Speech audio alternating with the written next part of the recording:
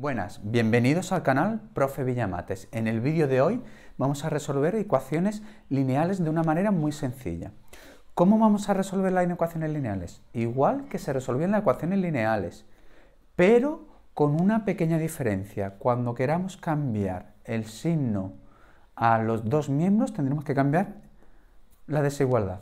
¿Mm? Qué cosa más rara ha dicho. Vamos a ver ejemplos y os diré cuándo hay que hacerlo.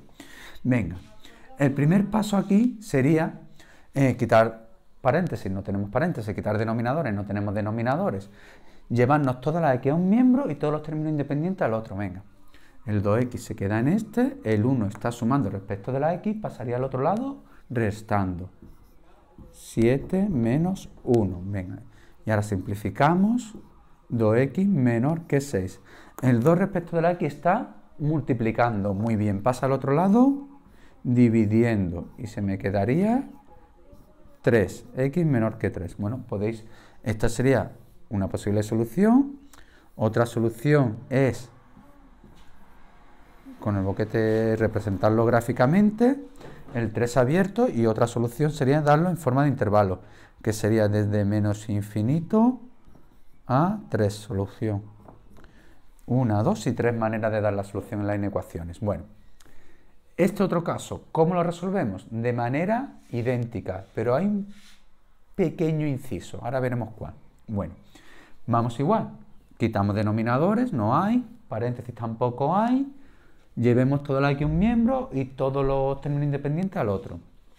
Sería menos 3x se queda aquí, el 1 está sumando respecto de la x, pasaría al otro lado restando 10 menos 1 menos 3x mayor o igual que 9. Venga, perfecto. Ahora tenemos aquí, delante de la x tenemos un menos 3. En estos casos es muy importante que cambiemos el signo a todos. Para cambiar el signo a todo sería 3x menos 9, porque hemos multiplicado todo por menos 1. ¿Qué ocurre cuando cambiamos el signo a todos? Que también este del medio hay que cambiarlo menor o igual. Esto es muy importante. Entonces ahora tendríamos 3x menor o igual que menos 9.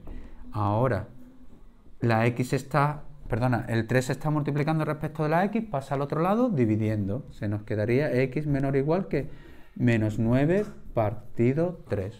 Menos 9 entre 3, x menor o igual que menos 3. Podéis dejarlo de esta manera o podéis poner también menos 3 es menor o igual que menos 3, sería todo esto y aparte es cerrado. Es decir, hacemos el circulito cerrado o en forma de intervalo, que sería desde menos infinito hasta menos 3, pero en esta ocasión cerrado. Fijar la diferencia. Si no entra el 3 en la solución, ponemos paréntesis. Si entra, en este caso, el menos 3 en la solución, aquí se cierra el punto y aparte ponemos corchete.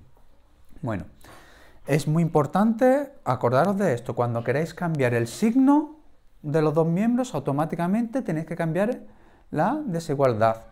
Bueno, espero que os haya gustado. Dale a like si es así y suscribiros al canal Profe Villamates. Nos vemos en otros vídeos. Hasta luego.